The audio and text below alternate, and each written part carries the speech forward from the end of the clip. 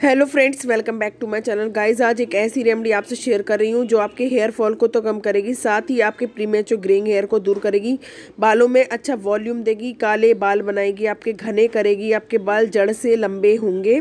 अगर आपने अभी तक हमारे चैनल को सब्सक्राइब नहीं किया कर लीजिए एक बैल आता है उसको ज़रूर से आप प्रेस कर लिया करें। देखिएगा फ्रेंड्स इस तरीके से आप जो है इसे कद्दूबस कर लीजिए। हो गया इस तरीके से एक साइड से। देखिएगा फ्रेंड्स ये जो है इजीली निकल जाता है इस तरीके से। ना है ऐसे ये देखिएगा। इस तरीके से और आपको ध्यान रखना है आपको जब लगाना हो तभी आप फ्रेश बनाइए। प्लीज़ इसे सेव करके मत रखिएगा। अगर आप चाहते हैं कि हंड्रेड परसेंट आपको रिज़ल्ट मिले तो ये देखिएगा कुछ इस तरीके का ये आप देख रहे होगा। आप जेली फॉर्म में कन्वर्ट हो गया ये देखेगा ये फ्रेंड्स आप देख रहे हैं एक तरफ़ ही जा रहा है आप देखेगा ध्यान से इसे, इसे मैंने जेली फॉर्म में कन्वर्ट किया है इसे। इस तरीके से घिसके ही आपको यूज़ करना है। मिक्सी में मत पीसिएगा। फ्रेंड्स आपको खाली लेना है और उसका पानी बिल्कुल अच्छे से सुखा देना है। देखिएगा पानी नहीं होना चाहिए इसमें।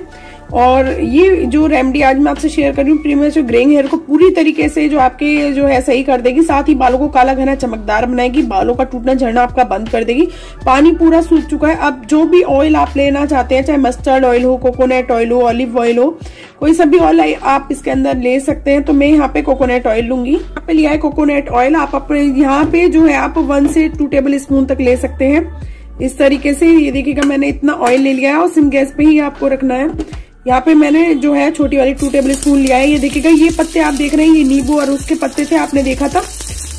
नींबू के और ये इनके पत्ते थे, आपको इस तरीके से पकाने हैं। बिल्कुल ये देखिएगा फ्रेंड्स इस तरीके से आपको जो है सिम गैस पे से जो है चलाते जाना है। और इन पत्तों का सत्य जो है इसमें आ जाएगा। आप चाहें तो पाउडर भी यूज़ कर सकते हैं। अगर आपके पास फ्रेश पत्ते नहीं है नींबू के और नींबू के पत्ते जो है, आपकी डेंड्रफ की प्रॉब्लम को दूर कर देते हैं। देखिएगा विंटर्स में हेयर हमारा इतना वॉश नहीं रहता है, ना ही इतना है, इतना क्लीन नहीं रहता है तो आपको क्या करना है, नींबू के आप पत्ते ले सकते हैं। इस तरीके से या फिर नींबू का पाउडर ले लीजिए, अगर आपके पास पत्ते नहीं है, पाउडर भी सेम ही काम करेगा। फ्रेंड्स, देखिएगा, अब आपको क्या करना है, दो से तीन मिनट के बाद में ये एलोवेरा, आप जो फ्रेश फ्रेश वाला एलोवेरा लिया था, उसको आपको डाल देना है। और कुछ इस तरीके का आपका ये बनकर रेडी हो जाएगा। ये देखिएगा, मैं सारा डाल दे रही हूँ। ये देखिएगा, दो से तीन मिनट आपको इसे गर्म करना है, ज़्यादा नहीं, पूरा टोटल टाइम मैं आपको बता देती हूँ, सिर्फ़ फाइव मिनट तक आपको जो है इसका पूरा टाइम रखना है, इस तरीके से ये देखेगा फ्रेंड्स अब जो है ये ऑयल हमारा बनकर रेडी हो जाएगा दो से तीन मिनट में, इस तरीके से आप इसे जल्दी से चलाते जाइए को जो है जल्दी से इसे चलाते जाना है, और ये जो है, ये बेनिफिशियल ऑयल जो है हमारा बनकर रेडी हो चुका है। आप चलेगा मैं गैस का फ्लेम बंद कर देती हूँ। देखिएगा फ्रेंड्स आपको खाली एक बॉयल लेना इन आउट कर लेना है ऑयल को। तो देखिएगा फ्रेंड्स, इस तरीके से आप ऑयल लीजिए और ऑयल को इसमें जो है, ये देखिएगा, इस तरीके से पलट लीजिए, जो है हमारा स्टेन आउट हो जाएगा ऑयल अच्छे से। जो मस्टर्ड ऑयल लेते हैं तो आप आयरन की कढ़ाई में भी बना सकते हैं। आप कोई सा भी पैन या बर्तन ले सकते हैं जो आपके पास हो।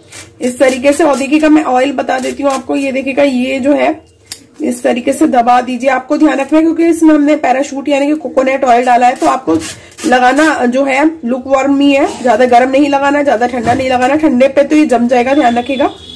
अगर आप इसे ठंडा लगाते हैं और ब्लड का सर्कुलेशन होगा आपका गर्म से लगाने से, हल्का निवाया ही आपको जो है लगा लेना है। ये देखिएगा ये ऑयल हमारा बेनिफिशियल ऑयल बनकर रेडी हो गया। मैं अपने बालों की आज मसाज करने वाली हूँ, क्योंकि तो मैंने इसे रेडी किया है इस तरीके से। देखिएगा फ्रेंड्स ये जो है बेनिफिशियल ऑयल हमारा बनकर रेडी हो जाए ये जो है आपकी सारी हेयर की समस्या को दूर कर देगा, आपके बालों को काला घना चमकदार बनाएगा। इसमें कोई भी चीज़ डालने की ज़रूरत नहीं है। ये आपके बालों को तेज़ी से सफ़ेद हो रहे, बालों को काला घना चमकदार बनाएगा। आपके बालों का टूटना झड़ना बंद कर देगी ये मसाज करते हुए लगाना है और सुबह मॉर्निंग में हेयर वॉश माइल शैम्पू करना है। आई होप आपको वीडियो रेमेडी अच्छी लग रही हो, जानकारी अच्छी लग रही हो। तो ज़्यादा से ज़्यादा इस वीडियो को शेयर कर दें। Thank you so much for watching